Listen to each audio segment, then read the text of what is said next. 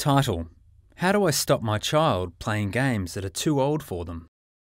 Dr. Michael Carr Gregg, child and adolescent psychologist. One of the great things that we've got now are parental controls on virtually every console, and I urge parents who come to see me to use those parental controls. So, a few years ago, I was doing some work for Microsoft, and um, the doorbell rang, and an Xbox 360 arrived, and with it, a whole lot of games. And the children were thrilled, and they said, Daddy, have we ever told you how much we love you? And that love was very short lived simply because I used the parental controls to set it A, that it would not play, uh, MA games, or R18 games for that matter, um, and it would only play on Friday for two hours. So, this is in fact what I'm urging parents to do to literally use the technology to regulate the game.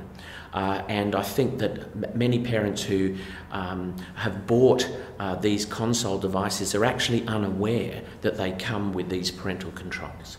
The video concludes with an end credit of the Australian Government crest alongside the title Office of the Children's E-Safety Commissioner and the URL www.esafety.gov.au.